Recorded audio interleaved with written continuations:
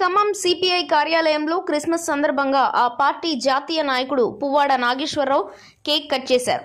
అన్ని మతాలను గౌరవించుకోవడం ద్వారా ప్రజల్లో సోదరభావం నెలకొంటుందని నాగేశ్వరరావు అన్నారు.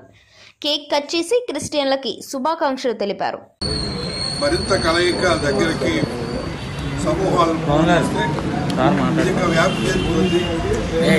ప్రమాదం అనేటువంటి గత రెండేళ్ళ నుంచి మనం ఒక చోటకి కూడుకుంటున్నాం